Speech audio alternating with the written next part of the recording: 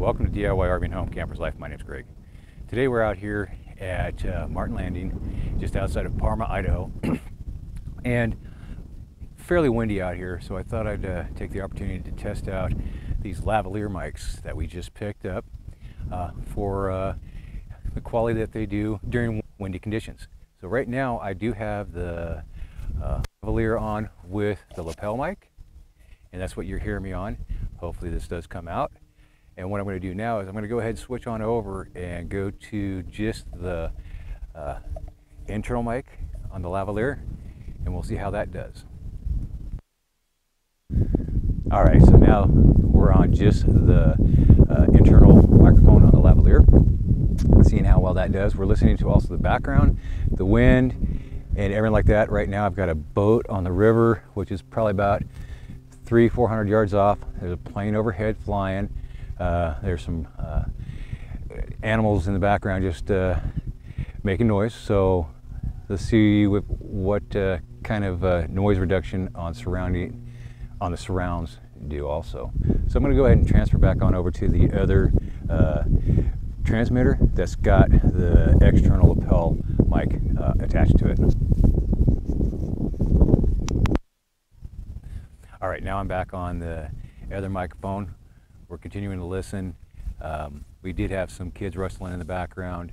Um, we've got crickets going, geese. Uh, so I want to hear uh, how the sound reduction is compared to um, just the video off the camera.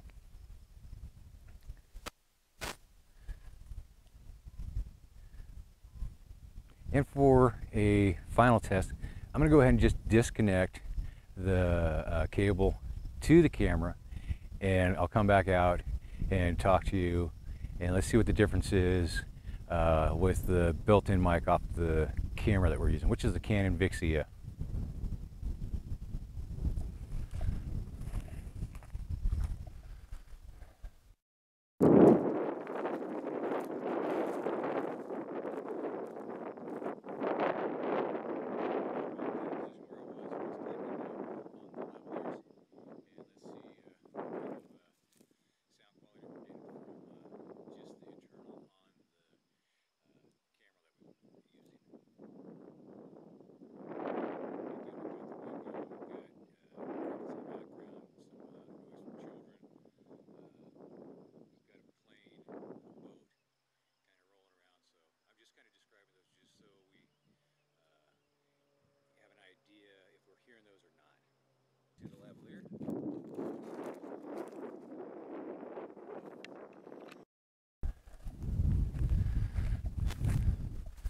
Check one.